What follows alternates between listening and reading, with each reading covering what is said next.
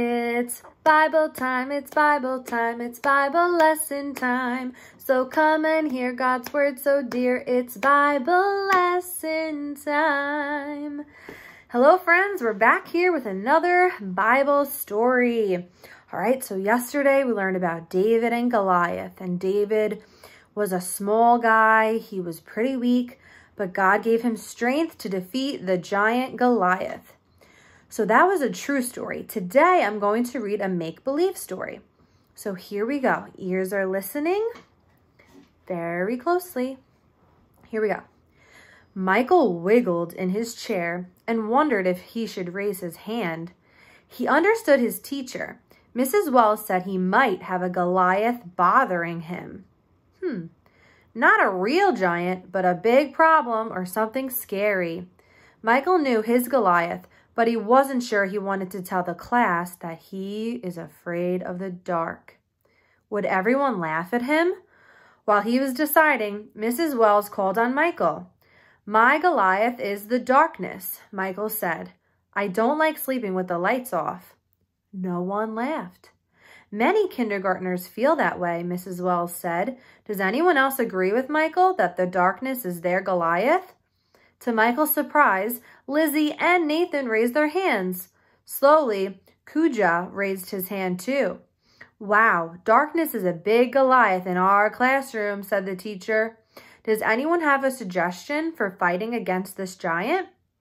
Grace mentioned that she repeated Bible verses to herself in the dark, especially Psalm 57:6.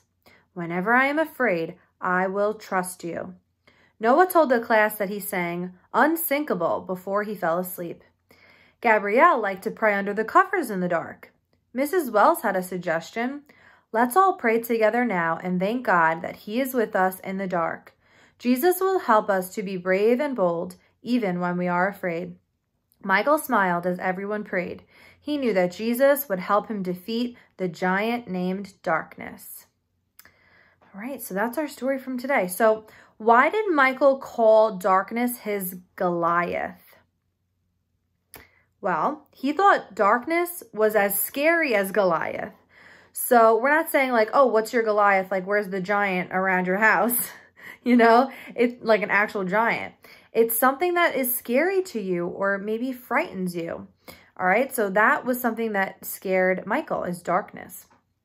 Was Michael the only one in the class that was afraid of the dark? No! A couple of his classmates were also afraid of the dark, and he was scared to even say that he was afraid of the dark because he thought some friends would make fun of him. But guess what? They felt the same way.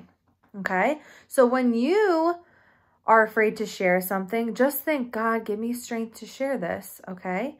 And a lot of times, other people are feeling the same way as you.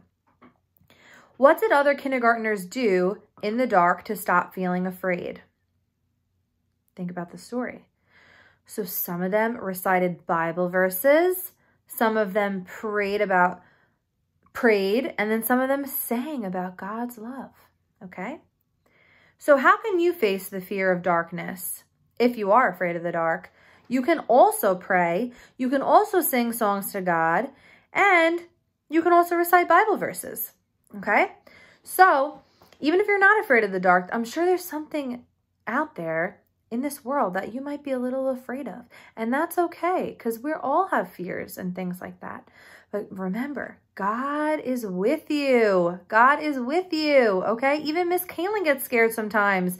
But I just have to stop, pray, and say, God, you got this. You love me. You're going to take care of me. I will not be afraid, okay? So that is our Bible lesson for this week, friends. I hope you enjoyed and I'll see you next week. Bye.